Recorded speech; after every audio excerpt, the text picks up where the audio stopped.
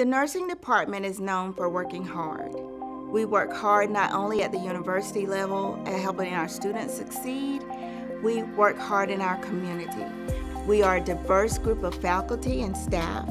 We have we come from diverse places all over the world, and so we offer opportunities and experiences that they may not get somewhere else.